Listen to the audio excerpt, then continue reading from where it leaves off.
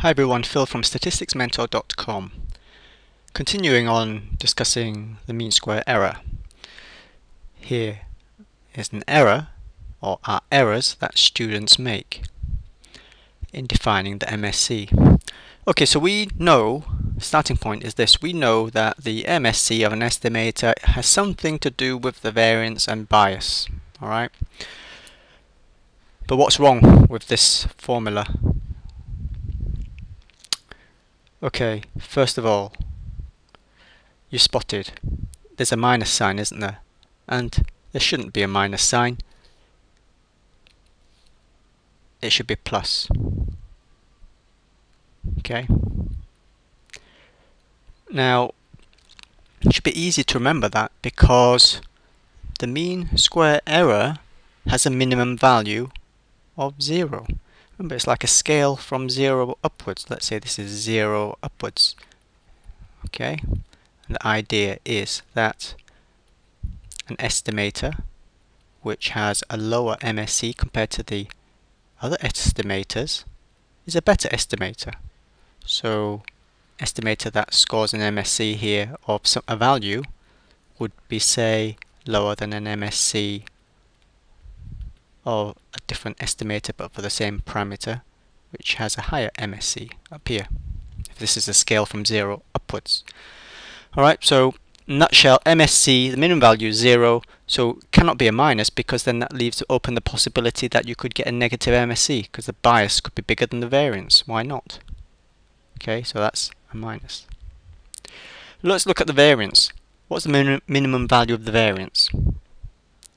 You should have an automatic answer there. It's zero, isn't it? Minimum variance is zero. How about bias? Is the minimum variance of bias? Does is the minimum variance of bias zero, say, as well?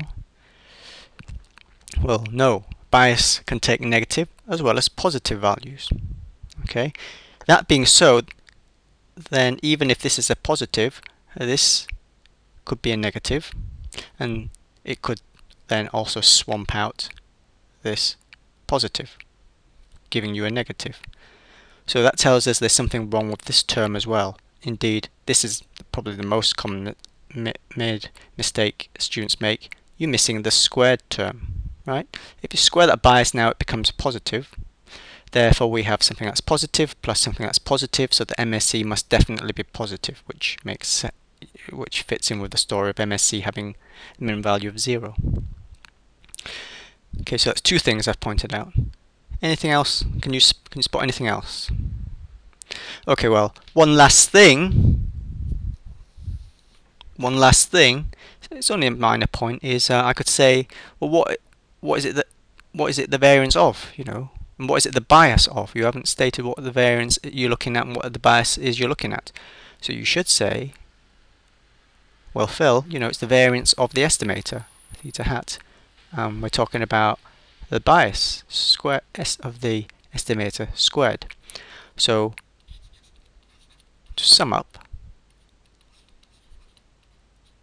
correcting for those errors, we can say that the MSE is the variance of the estimator plus bias squared of the estimator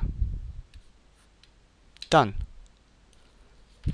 Okay, since that's pretty important, I'm just going to stop there.